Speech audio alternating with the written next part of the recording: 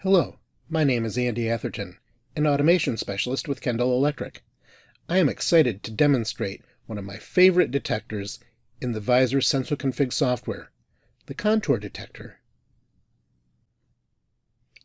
SensoPart has a variety of powerful detectors for detection, inspection, measurement, positioning, identification, and color detection. The contour detector serves multiple purposes, including detection, inspection, location, and identification based on a consistently shaped object. The contour detector is trained on the object, and at runtime provides a match score of how well the current image matches the trained model, as well as position information. It can tolerate variations in location, rotation, and size for those applications where position information is important or size may vary. The contour detector can also locate multiple instances of an object and report the match score, location and orientation, and sort them according to various criteria including score, position in x or y axes, angle, and size. Let's look at how this detector could be used and how to set it up. First, let's look at some images and see what we are trying to inspect. We have several samples of two different parts, and we want to identify which part is present. With the detector step selected, start by clicking New, select a contour detector, and then click OK. The yellow rectangle is the search region, and the green rectangle is the model region. Next, resize the search region to include the area in the field of view where the part could be located.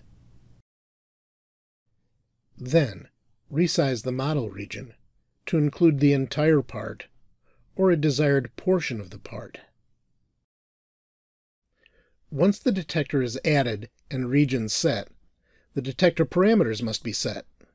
By default, the match score acceptance threshold ranges from 50 to 100, the angle range from negative 20 to plus 20 degrees, and the scale range is from 1 to 1. This part can be in any orientation, but because it has a high degree of symmetry, we could probably leave the angle range at the default. We can also leave the threshold and scale at the default settings, but these can be easily adjusted depending on the parts and the goal of the inspection. Clicking on the Edit Contour button opens an editor where you can mask out parts of the model that are not relevant or detract from achieving the match scores needed to perform your inspection. The more you mask out, the more precise your model will be, so that parts at runtime will be subject to tighter constraints. Some applications may require no masking at all and in others you may want to mask very precisely. There are various shapes you can select, square, circle, and line. We'll choose circle. You can adjust the size of the masking tool, making it smaller for more precise masking, or larger for gross masking. You can add or remove pixels, add or remove all pixels, and zoom in or out on the model depending on the size and desired detail. Let's mask out some pixels that we don't want in our model. When you're done, click OK to accept the changes.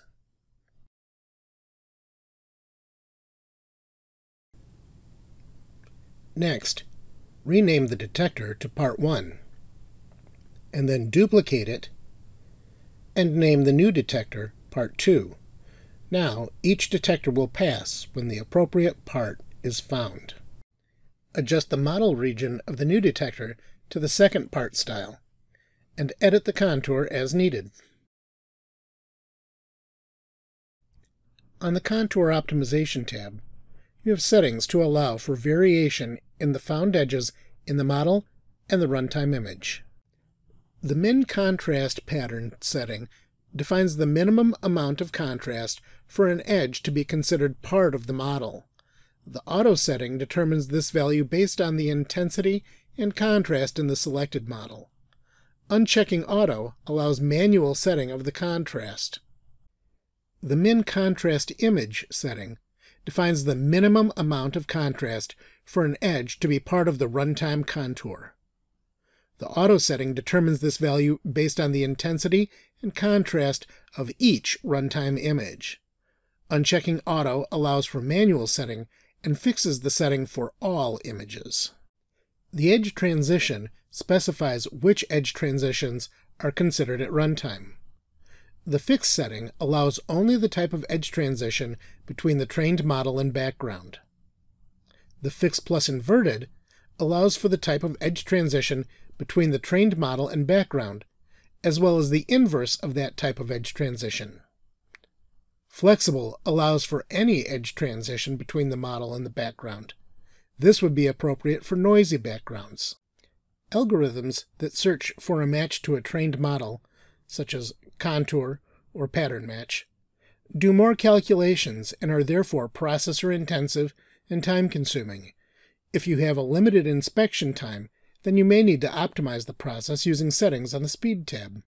The Angle Step setting specifies the sensitivity to changes in angle during the search process through the specified angle range.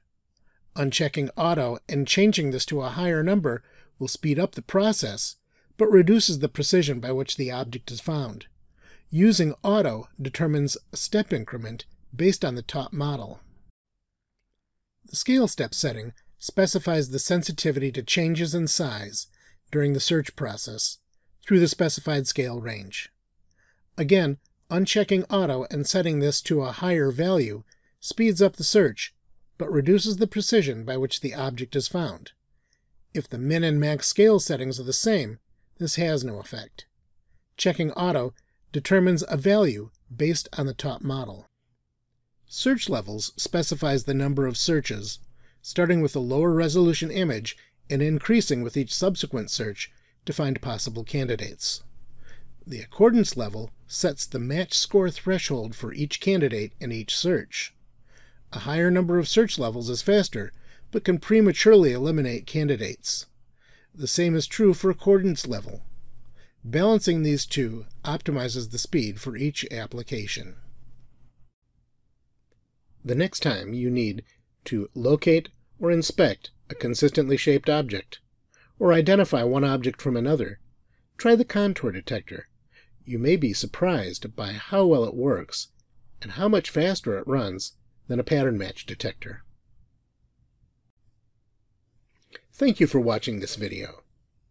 If you'd like more information about SensoPart Visor, please contact your Kendall account manager or automation specialist please visit our website at kendallelectric.com to find the location nearest you.